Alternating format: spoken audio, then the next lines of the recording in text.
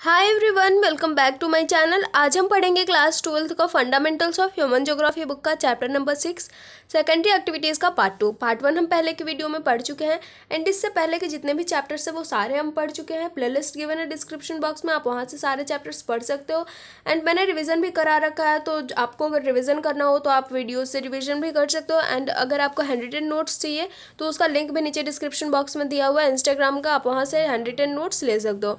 तो गाइज़ चलिए आज का जो हमारा टॉपिक है उसे हम शुरू करते हैं। आज का जो टॉपिक है, वो क्या है? हाउस होल्ड इंडस्ट्रीज़ और cottage manufacturing it is the smallest manufacturing unit the artisans use local raw materials and simple tools to produce everyday goods in their homes with the help of their family members और part time labour इसमें क्या होता है कि जो local raw materials मिलते हैं available होते हैं, जैसे बम्बू हो गया, और इसके अलावा भी जितनी भी चीज़ें लोकली अवेलेबल होती है, उसका यूज़ करते हैं and simple goods simple tools का यूज़ करके जो गुड्स होते हैं, उसे प्रोड्यूस करते हैं. इसमें जो फैमिली इसमें जितने भी लेबर यूज़ होते हैं, वो फैमिली मेंबर्स होते हैं या फिर पार्ट टाइम लेबर होते हैं, ठीक है? जो फिनिस्ड गुड होता है finished products may be for the consumption in the same household और for sale in local markets और फॉर बाटर जो फिनिश प्रोडक्ट्स जो भी बनता है, जैसे अगर कोई बम्बू रॉ मटेरियल्स का यूज़ करके अगर कोई टोकरी बनाता है तो उसका जो यूज़ होगा वो कहाँ पे होगा? या तो सेम हाउस होल्ड में होगा जहाँ पे बनाया गया है, वहीं होगा। या फिर जो लोकल विलेजेस के मार्केट्स होंगे, वहाँ पे सेल किया जाएगा, बेचा जाएगा। या फिर एक और जो सिस्टम है, वो है बाटर सिस्टम अदला बदली तो इसमें भी इसका क्या होता है यूज़ होता है।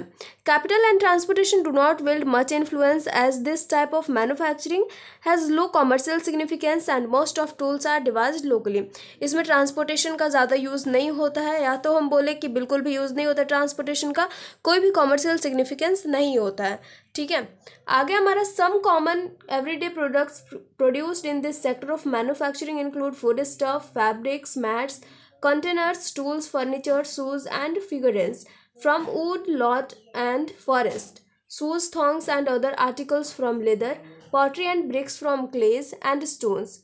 Goldsmith make jewelry of gold, silver, and bronze. Some artifact and crafts are made out of bamboo, wood, obtained locally from the forest. तो इतने में हमारा क्या देखा हमने कि जो फर्नीचर्स टूल्स ये सारी चीज़ें बनाए जा रहे हैं वो वुड से बनाए जाते हैं और वुड भी क्या होता है लोकली अवेलेबल होता है। आगे का जो बनाया हुआ था, वो था shoes thongs and other articles जो कि बनाया गया था लेदर से। ये भी इजली अवेलेबल होता है। पॉटरी एंड ब्रेक ब्रिक्स बनाया गया है। क्लेज एंड स्टोन से ये भी अवेलेबल होता है इजली तो ये सारी चीज़ें क्या हैं? हम पढ़ रहे हैं, जो कॉटेज हाउस होल्ड इंडस्ट्री होता है, उसमें जो भी चीज़ें बनाई जाती है, उसका ये एग्ज़ाम्पल है कि कौन कौन सी चीज़ें बनाई जाती हैं और किस चीज़ से बनाई जाती है, जो रॉ मटेरियल्स होता है, वो क्या क्या यूज़ होता है, ठीक है? तो अगर आपको एग्ज़ाम्पल लिखना हो, अगर क्वेश्चन आ जाए कि कौन कौन से रॉ मटेरियल्स का यूज़ हम कर सकते हैं हाउस होल्ड में तो उसमें आप लिख सकते हो वुड लेदर वगैरह, जितनी भी चीज़ें आप लिख सकते हो, ठीक है? आगे जो हमारा टॉपिक है, वो क्या है? वो है small scale industry small scale industry sorry small scale manufacturing Small scale manufacturing is distinguished from household industries by its production techniques and place of manufacturer workshop outside the home cottage of the producer ये small scale industry क्या हो, कहाँ होता है? Outside home home से बाहर होता है। This type of manufacturing uses local raw material simple power driven machines and semi skill delivered इसमें भी लोकल रॉ मटेरियल का यूज़ होता है और सिंपल पावर ड्रिवन मशीन्स होते हैं, जो सिंपल सिंपल मशीन होता है, वो यूज़ होते हैं इसमें और सेमी स्किल्ड लेबर यूज़ होते हैं। It provides employment and raises local purchasing power therefore countries like India China Indonesia and Brazil etcetera have developed labour intensive small scale manufacturing in order to provide employment to their population इसमें क्या होता है? Employment बहुत ज़्यादा होता है। ये लोगों को प्रोवाइड करता है एम्प्लॉयमेंट लार्ज स्केल मैन्युफैक्चरिंग अगला टॉपिक हमारा क्या है? Large scale manufacturing large scale manufacturing involves a large market various raw materials enormous energy specialised workers advance technology assembly line mass production and large capital इसमें क्या होता है कि बहुत सारे रॉ मटेरियल्स का यूज़ होता है, ज़रूरी नहीं है कि वो लोकली अवेलेबल हो। उसके अलावा भी जो मटेरियल्स होते हैं, वो भी यूज़ होते हैं। बहुत ज़्यादा एनर्जी यूज़ होता है स्पेशलाइज्ड वर्कर्स होते हैं इसमें। और जो टेक्नोलॉजी होती है, वो भी क्या होती है एडवांस्ड होती है बिकॉज़ यहाँ पर सिंपल लैंग्वेज में लिखा हुआ है कि क्या है लार्ज स्केल मैनुफैक्चरिंग है। और लार्ज है तो इसमें काफ़ी चीज़ों का यूज़ भी होगा ही होगा। आगे जो है वो है this kind of manufacturing developed in last two hundred years ये 200 साल पहले क्या हो चुका है? डेवलप्ड हो चुका है। In the United Kingdom north eastern USA and Europe now it has diffuse to almost all over the world दो सौ दो सौ साल पहले कहाँ पे डेवलप्ड हो चुका है अच्छे तरीके से? तो यूनाइटेड किंगडम है नॉर्थ ईस्टर्न यूएसए है और यूरोप है। बट उसके अलावा अब क्या हो रहा है? अब धीरे धीरे ये पूरे वर्ल्ड में फैल चुका है, पूरे वर्ल्ड में डेवलप्ड हो चुका है धीरे धीरे जो आगे के टॉपिक्स है वो क्या हम देखते हैं? On the basis of system of large scale manufacturing the world's major industrial regions may be grouped under two broad types namely जो हमारा लार्ज स्केल इंडस्ट्री है, वो टू टाइप्स में डिवाइड किया गया है। दो ग्रुप में है बांटा गया तो पहला कौन सा? ट्रेडिशनल लार्ज स्केल इंडस्ट्री और दूसरा क्या? High technology large scale industry. ये कहाँ पे है? Regions which are thickly clustered in few more developed countries ये कहाँ पे? फ्यू जो डेवलप्ड कंट्रीज़ है, वहाँ पे और ये जो लेस डेवलप्ड कंट्रीज़ है, वहाँ पे high technology large scale industries जो नेक्स्ट है हमारा टॉपिक वो है industries based on inputs raw materials तो अब हम पढ़ेंगे कि कौन कौन से रॉ मटेरियल्स पे बेस्ड इंडस्ट्रीज़ होते हैं। पहला हमारा एग्रो बेस्ड इंडस्ट्री दूसरा मिनरल बेस्ड तीसरा है केमिकल बेस्ड चौथा है फॉरेस्ट बेस्ड एंड पांचवा एनिमल बेस्ड एग्रो बेस्ड क्या होगा? Agro processing involves the processing of raw materials from the field and farm into finished products from for rural and markets sorry urban markets तो इसमें क्या होता है? जो fields होते हैं, जो फार्म्स होते हैं, वहाँ से रॉ मटेरियल्स लिए जाते हैं। Major agro processing industrial are food processing sugar pickles fruit juices beverage जैसे tea coffee and cocoa spices and oil fats and textile cotton jute silk rubber etcetera ये सारी चीज़ें जितने भी एग्जांपल्स हमने एग्रो बेस्ड इंडस्ट्री के देखे, जो फील्ड्स पे डिपेंडेंट होते हैं फार्म पे डिपेंडेंट होते हैं तो क्या ये एग्रीकल्चर से रिलेटेड चीज़ है? जितनी भी चीज़ें इसमें बनाई जा रही है, जैसे फ्रूट जूसेस हो गया शुगर हो गया पिकल्स हो गया बेवरेजेस हो गया स्पाइसेस सारी चीज़ें किस पे डिपेंडेंट है? तो जो एग्रीकल्चर होता है, उस पर डिपेंडेंट है। तो एग्रीकल्चर से रिलेटेड जितनी भी चीज़ें बनाई जाती है, या फिर हम बोल सकते हैं कि जो एग्रीकल्चर पे बेस्ड होती हैं, जितनी भी सारी इंडस्ट्री जिसे हम कहते हैं एग्रो बेस्ड इंडस्ट्री इसका एक एग्ज़ाम्पल है food processing agro processing include scanning producing cream fruit processing and confectionery while some preserving techniques such as drying fermenting and pickling have been known since ancient times. These had limited applications to cater to pre-industrial revolution demands. जो next है हमारा, वो कौन सा है? तो वो हमारा mineral based industry mineral based industry किस चीज़ पे डिपेंडेंट होगा? तो मिनरल्स पे होगा। इसका रॉ मटेरियल क्या होगा? मिनरल होगा। Some industries use ferrous metallic minerals which contain ferrous इसमें क्या होता है? रॉ मटेरियल आयरन हो सकता है such as iron and steel industry but Some use non-ferrous metallic minerals such as aluminium, copper and jewelry industries. Many industries use non-metallic minerals such as cement and pottery industries. तो कहीं कहीं पे क्या होता है? कोई कोई जो इंडस्ट्रीज़ होती है उसमें non ferrous metallic minerals use होते हैं जैसे एल्यूमिनियम हो गया कॉपर हो गया ज्वेलरी हो गई ये सारा as a raw material use होता है। बहुत सारे इंडस्ट्रीज़ ऐसे होते हैं जिनमें non metallic non metallic minerals का यूज़ होता है लाइक सीमेंट हो गया पॉटरी इंडस्ट्रीज़ हो गया तो ये क्या है? ये हमारा हो गया मिनरल बेस्ड इंडस्ट्री जो अगला है वो हमारा है केमिकल बेस्ड इंडस्ट्री ये क्या है? Such industries use natural chemical minerals example mineral oil petrol is use in petrochemical industry तो यहाँ पे जो पेट्रोलियम है हमारा, वो कैसे यूज़ हो रहा है? तो वो हमारा as a raw material use हो रहा है. Salt sulphurs and potash industries also use natural minerals chemical industries are also based on raw materials obtain from wood and coal जो केमिकल बेस्ड इंडस्ट्री होता है, उसका रॉ मटेरियल क्या होता है? वुड और कोयल ही होता है। Synthetic fibre plastic etcetera are other examples of chemical based industry ये भी एग्ज़ाम्पल है सिंथेटिक फाइबर और प्लास्टिक भी इसी का एग्ज़ाम्पल है केमिकल बेस्ड इंडस्ट्री का। तो हमने अभी देख लिया agro based industry mineral based industry और केमिकल बेस्ड इंडस्ट्री और जो आगे का हमारा बचा हुआ है वो कौन सा है? तो वो है हमारा फॉरेस्ट रॉ मटेरियल ठीक है? Forest based raw material using industry ये किस पे डिपेंडेंट होगा? तो ये फॉरेस्ट पे होगा. The forest provide many major and minor products which are use as raw material हम फॉरेस्ट से भी बहुत सारे रॉ मटेरियल्स का यूज़ करते हैं हमारी इंडस्ट्रीज़ में. जैसे timber for furniture industry wood bamboo and grass for paper industry lac for lac industries come from forest ये जितनी भी इंडस्ट्रीज़ है, जैसे ग्रास से रिलेटेड हो गया। जो बम्बू है वुड है furniture as a raw material जहाँ पे यूज़ होता है, वो क्या पे डिपेंडेंट है? वो सारा जो है फॉरेस्ट पे डिपेंडेंट है। इसलिए कौन सा इंडस्ट्री है? फॉरेस्ट बेस्ड इंडस्ट्री है। जो अगला है हमारा, वो है animal based industry leather for leather industry and wool for woollen textile are obtained from animals besides ivory is also obtained from elephant tusk तो यहाँ पे हम लेदर का भी एग्ज़ाम्पल देख सकते हैं। लेदर कहाँ से ऑप्टेंड होता है? एनिमल से होता है। जो उल होता है, वो भी कहाँ से होता है? एनिमल से होता है, इसलिए ये क्या है? एनिमल बेस्ड इंडस्ट्री है। जो नेक्स्ट है हमारा वो है industries based on output product you have seen some machines and tools made of iron and steel बहुत सारे मशीन ऐसे होते हैं, जिनका जो किस चीज़ से बने होते हैं? आयरन और स्टील से। The raw material for such machines and tools is iron and steel तो जो रैम रॉ मटेरियल होता है इस मशीन का ये जो आयरन और स्टील से बने होते हैं वो भी क्या होता है? आयरन और स्टील होता है which is itself an industry जो क्या है? खुद एक इंडस्ट्री है। The industry whose products are use to make other goods by using them as raw materials are basic industries तो वैसे इंडस्ट्रीज़ जो कि खुद होते हैं रॉ मटेरियल से बने हुए आई I मीन mean, जो इंडस्ट्रीज़ आयरन और स्टील के बने हुए ठीक है? जो इंडस्ट्रीज़ इसके बने हुए हैं और फिर यहाँ पे और आयरन और स्टील यूज़ हो रहा है गुड्स बनाने के लिए तो वो क्या होते हैं? वो बेसिक इंडस्ट्री होते हैं। Can you identify the links iron steel machines for textile industry clothes use for use by consumers the consumer good industries produced goods which are consumed by consumers directly जो consumer goods industries होते हैं, वहाँ से consumer क्या करते हैं?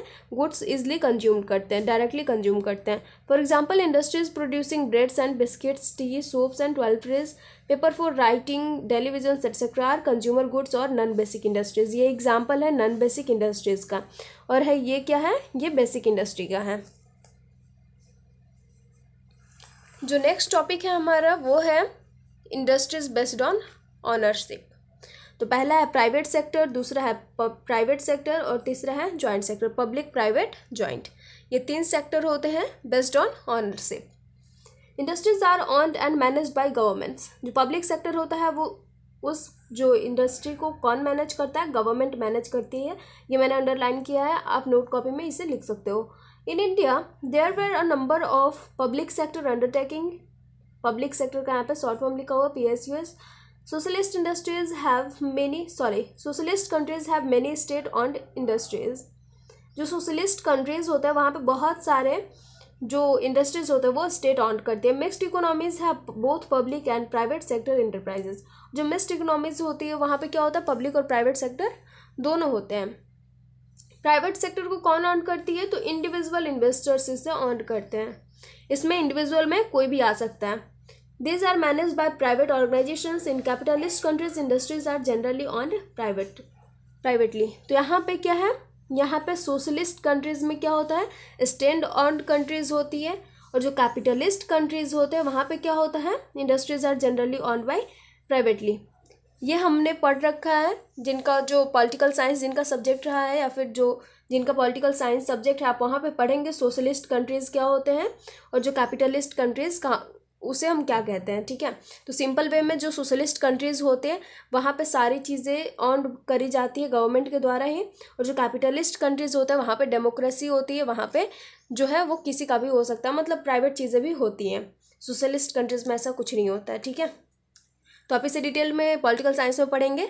जो अगला है वो हमारा joint sector joint sector industries are manage by joint stock companies और sometimes the private and public sector together established and manage the industries joint sector में क्या होता है? ज्वाइंट सेक्टर में प्राइवेट और पब्लिक सेक्टर दोनों होते हैं। ठीक है? आगे जो है वो है हमारा traditional large scale industrial regions this are based on heavy industry ये हैवी इंडस्ट्रीज़ पर बेस्ड होते हैं। Of often located near coal fields and engage in metal smelting heavy engineering chemical manufacture और textile production These industries are now known as smokestack industry. Traditional industry regions can be recognized by तो जो traditional industries होते हैं traditional large scale industrial regions जो होते हैं, वहाँ पे कोयल फील्ड्स के नज़दीक में ये लोकेटेड होते हैं। मेटल स्केल में स्मेल्टिंग में इंगेज होते हैं हैवी इंजीनियरिंग होता है केमिकल मैन्युफैक्चरर होता है टेक्सटाइल प्रोडक्शन होते हैं। ये सारी चीज़ें ट्रेडिशनल लार्ज स्केल इंडस्ट्री में होती हैं। इसको क्या कहा जाता है? स्मोक स्टैक इंडस्ट्री के नाम से भी जाना जाता है।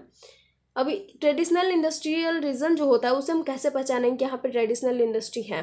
तो high proportion of employment in manufacturing industry high proportion of employment होगा। High density housing often of inferior type and poor services unattractive environment सबसे बड़ी चीज़ जो इन्वायरमेंट होगा, वो क्या होगा? अनअट्रैक्टिव होगा। मतलब पॉल्यूशन बहुत ही ज़्यादा होगा। For example pollution waste heaps and so on problems of unemployment emigration and derelict land areas cause by closure of factories because of worldwide fall in demand सारी चीज़ें यहाँ पे क्या होगा? पॉल्यूटेड होंगी। बिकॉज़ लिखा ही हुआ था स्टार्टिंग में कि ये क्या है? मेटल स्मेल्टिंग होगा यहाँ पे हैवी इंजीनियरिंग होगा कोयल फील्ड्स के नज़दीक होगा तो सिंपल है यहाँ पे पॉल्यूशन होगा ही होगा। The Ruhr coal field Germany ये जो रूर कोयल फ़ील्ड है, वो कहाँ का है वो? जर्मनी का है। This has been one of the major industrial region of Europe for a long time ये यूरोप में बहुत ही लॉन्ग टाइम तक एक इंडस्ट्रियल रीजन रहा। Coal and iron and steel form the basis of the company but has demand of coal declined the industry started sinking तो ये किस चीज़ पे बेस्ट था? कोयल एंड आयरन पे स्टील पे बेस्ट था। लेकिन जैसे जैसे कोयल का डिमांड जो है डिक्लाइन होने लगा, ख़त्म होने लगा धीरे धीरे कम होने लगा तो ये इंडस्ट्री भी क्या हो गई? सिकुड़ने लगी। धीरे धीरे ख़त्म होने लगी even after the iron ore was exhausted the industry remained using imported ore brought by waterways to the Ruhr. The Ruhr region is responsible for 80% of Germany's total steel production. Ruhr region किस लिए responsible है तो जो Germany का steel production होता है, उसका eighty percent Ruhr production करता है आगे क्या है तो आगे हमारे changes in industrial structure have led to decay of some areas and there are problems of industrial waste and pollution The future prosperity, prosperity of the road is based less on products of coal and steel, for which it was initially famous, and more on new industries like huge Opel car assembly plant, new chemical plants, universities. तो पहले क्या था? कोयल और steel के लिए famous हुआ करता था रूर बट धीरे धीरे जैसे जैसे डेवलपमेंट हुआ चेंजेस हुए तो उसके बाद ये किस लिए फ़ेमस हो गया? Use Opel car assembly new chemical plants के लिए और यूनिवर्सिटीज़ के लिए ये फ़ेमस हो गया Ruhr region out of town shopping centres have appear resulting in the Ruhr new Ruhr landscape. जो रूर है, उसका जो लैंडस्केप है, वो क्या हो गया? एकदम से चेंज हो गया, एकदम नया हो गया। पहले ये किसी और चीज़ के लिए जाना जाता था और अब क्या, अब किसी और चीज़ के लिए। Iron and steel industry. अब हम आ गए हैं आयरन और स्टील इंडस्ट्री में। The iron and steel industry form the base of all other industries and there, it is called basis, basic industry. पहले भी हमने पढ़ा बेसिक इंडस्ट्री और यहाँ भी है हमारा बेसिक इंडस्ट्री। ये क्या होता है? तो ये आयरन और स्टील इंडस्ट्री क्या है? बेस है। जो बाकी के अदर इंडस्ट्रीज़ हैं, उनका ये बेस होता है। इसलिए इसे बेसिक इंडस्ट्री कहते हैं। It is basic because it provides raw material for other industries such as machine tools use for further production कि बेसिक इंडस्ट्री क्यों कहते हैं? इसको बिकॉज़ ये रॉ मटेरियल प्रोवाइड करता है। रॉ मटेरियल कैसे प्रोवाइड करता है? अगर ये रॉ मटेरियल देगा ही नहीं तो फिर मशीन टूल्स बनेंगे नहीं। और मशीन टूल्स नहीं बनेंगे तो फिर आगे का प्रोडक्शन किसी भी चीज़ का नहीं हो पाएगा। It may also called a heavy industry because it use large quantities of bulky raw materials and its producers are also heavy इसे हैवी इंडस्ट्री भी बोलते हैं बिकॉज़ ये क्या करता है? ये लार्ज क्वांटिटी में बल्कि रॉ मटेरियल्स का यूज़ करता है और इसका जो प्रोडक्शन होता है वो भी काफ़ी हैवी होता है। जो आगे हमारा वो है iron is extracted from iron extracted from iron ore by smelting in a blast furnace with carbon and limestone iron कैसे निकाला जाता है? तो आयरन ओर को स्मेल्ट करके। The molten iron is cooled and mounted to form pig iron which is use for converting into steel by adding strengthening materials like manganese. The large integrated steel industry is traditionally located close to the source of raw materials like iron ore, coal manganese and limestone जो large integrated steel industry जो होगा steel industry कहाँ पे locate करेगा? तो जहाँ पे iron और मिलेंगे कोयल मिलेगा मैगनीज होगा और लैमस्टोन होगा, ये सारे रॉ मटेरियल्स जहाँ पे अवेलेबल होंगे इजली वहाँ पे स्टील इंडस्ट्री लगाया जाता है। और at places where this could be easily broad और वैसे प्लेसेस पे जहाँ पे ये इजली लाया जा सकता है like near ports but in mini steel mills access to market is more important than inputs These are less expensive to build and operate and can be located near markets because of abundance of scrap metal, which is the main input. लेकिन जो छोटे छोटे mini steel industry होते हैं mini steel mills होते हैं, वो कहाँ पे? तो वो मार्केट में लगाए जाते हैं बिकॉज़ वहाँ पे छोटे छोटे स्क्रैप मेटल्स मिल जाते हैं बहुत सारे। आगे जो है, वो है हमारा traditionally most of the steel was produce at large integrated plants but mini mills are limited to just one step process steel making and are gaining ground जो मिनी मिल्स होते हैं, उनका लिमिटेड प्रोसेस होता है, सिर्फ़ उनका one step process ही होता है स्टील मेकिंग का।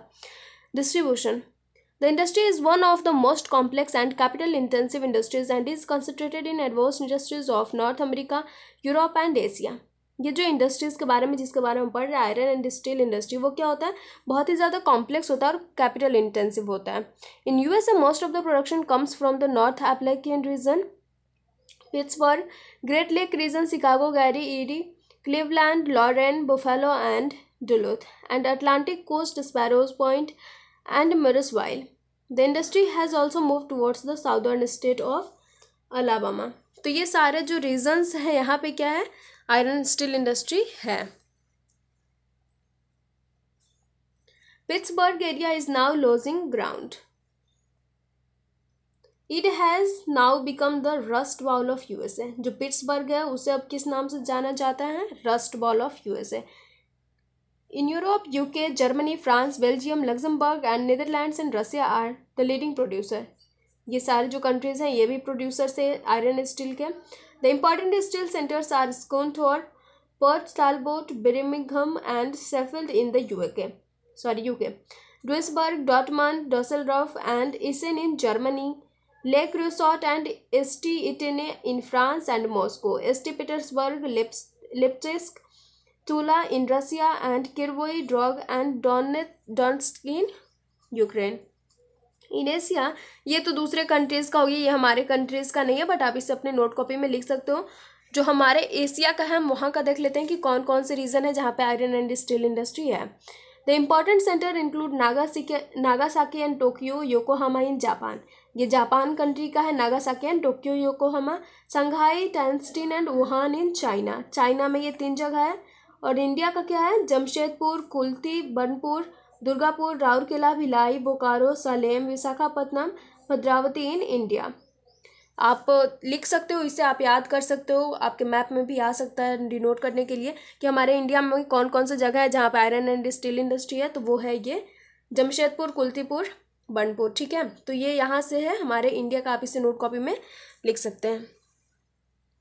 जो नेक्स्ट है वो है क्या? Cotton textile industry cotton textile industries has three sub sectors that is handloom powerloom and mill sector. Cotton textile industry के तीन सब सेक्टर है। पहला है हैंडलूम, दूसरा पावरलूम एंड तीसरा mill sector.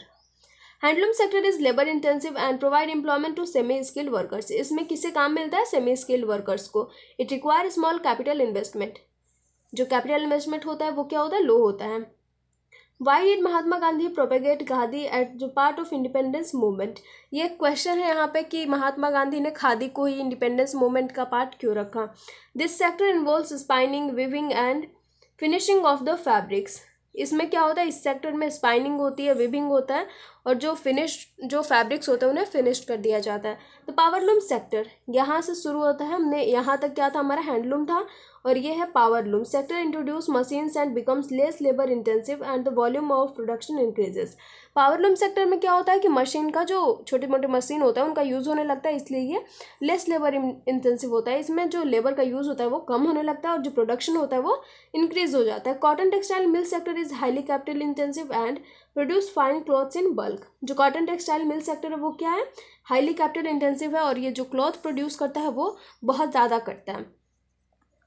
जो आगे हमारा cotton textile manufacturing requires good quality cotton as raw material जो कॉटन टेक्सटाइल मैन्युफैक्चरिंग इंडस्ट्री है, उसमें good quality of cotton raw material के रूप में चाहिए होता है। India China USA Pakistan Uzbekistan Egypt produce more than half of the world cotton जो वर्ल्ड्स का रॉ कॉटन है, जो बाकी सारे कंट्रीज़ को चाहिए होता है, उसमें कौन कौन कंट्री हमारा इंडिया है चाइना है यूएसए पाकिस्तान उज्बेकिस्तान इजिप्ट होता है। आई मीन है, ठीक है? ये सारे कंट्रीज़ ऐसे हैं जो कि as a raw material cotton produce करते हैं पूरे वर्ल्ड का half the UK north west European countries and Japan also produce cotton textile made from imported yarn यहाँ पे जो यार्न जाते हैं इम्पोर्ट करते हैं तो क्या होता है? यहाँ पे भी बनाए जाते हैं कॉटन से कपड़े. Europe alone accounts for nearly half of the world's cotton imports जो यूरोप है, यहाँ पे वर्ल्ड का हाफ़ इम्पोर्ट्स हो जाता है। मतलब वर्ल्ड का जो कॉटन बाकी सारे देशों से आते हैं तो यूरोप में जाता है पूरे वर्ल्ड का half the industry has to face very stiff competition with synthetic fibres hence it is no now soon in declining trend in many countries बहुत सारे कंट्रीज़ में क्या हो रहा है कि सिंथेटिक फाइबर के साथ इसे कंपटीशन करना पड़ रहा है। इसलिए ये क्या हो रहा है? डाउन हो जा रहा है धीरे धीरे डिक्लाइन कर रहा है। With the scientific advancement and technological improvement the structure of industries changes जैसे जैसे साइंटिफिक एडवांसमेंट हुआ टेक्नोलॉजिकल इंप्रूवमेंट हुआ, वैसे वैसे इस इंडस्ट्री का भी जो स्ट्रक्चर है वो काफ़ी चेंज हो गया। For example Germany recorded constant growth in cotton textile industry since second world war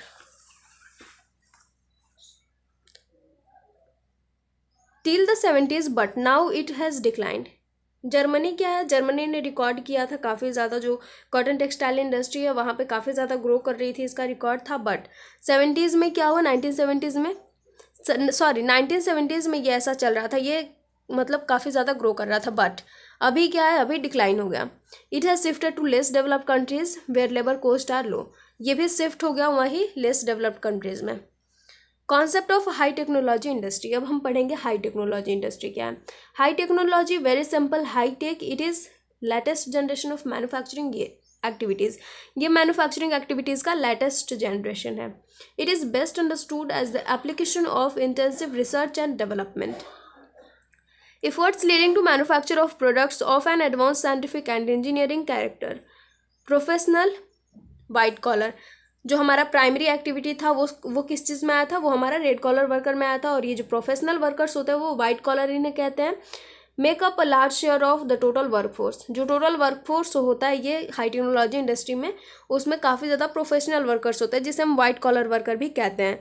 This highly skilled specialist great outnumber the actual production और इसमें कौन से लोग होते हैं? ब्लू कॉलर वर्कर्स होते हैं, जो कि हाईली स्पेशलिस्ट होते हैं, ठीक है? इनके पास स्किल काफ़ी ज़्यादा होता है। Robotics on the assembly line computer aided design and manufacturing electronic controls of smelting and refining process and the constant development of new chemical and pharmaceutical products are notable examples of high tech industry high tech industry का example है ये robotics यहाँ से जो है, यहाँ तक sorry यहाँ तक, ठीक है? ये हाईटेक इंडस्ट्री का एग्ज़ाम्पल है जिसमें कि इलेक्ट्रॉनिक से रिलेटेड चीज़ें आती है रोबोटिक डिज़ाइन आते हैं कंप्यूटर एडेड डिज़ाइन आते हैं, ठीक है?